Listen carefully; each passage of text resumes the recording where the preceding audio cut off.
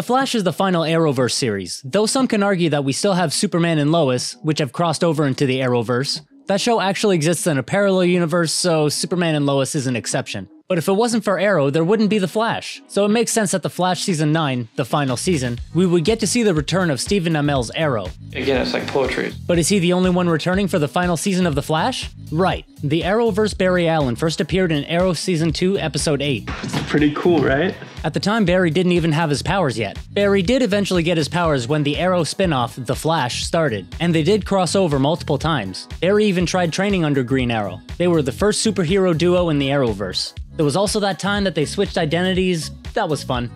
So it's only fitting that Stephen Amell does come back for Grant Gustin's final season. It would be a nice send off for The Flash. It also seems as though the CW is looking to make the final season of The Flash as big as they possibly can. Not a big one.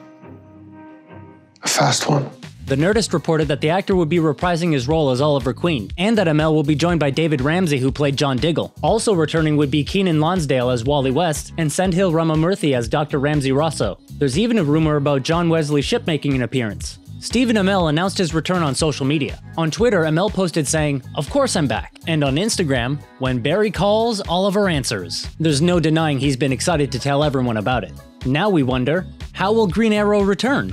Any thoughts? As far as we know, Oliver Queen is deceased and has been for quite some time now. There was even that big Arrowverse crossover when that happened. We even saw his afterlife with Felicity, so his life is absolutely over. So, does he come back from the dead? Will we be dealing with time travel or a parallel universe? At this point, we can only speculate. However, knowing the Flash's expansive power set along with his penchant for multiversal hijinks, it's entirely possible we get to see Arrow return in a variety of forms. The final season of The Flash starts on February 8th, and we'll be waiting with the rest of you to find out the role that Arrow will be playing in The Flash's final season. Speaking of Flash news, did you hear Grant Gustin might be in the new Flash movie? You can watch that video here, and if you like this video, be sure to check out our news and exclusives playlist.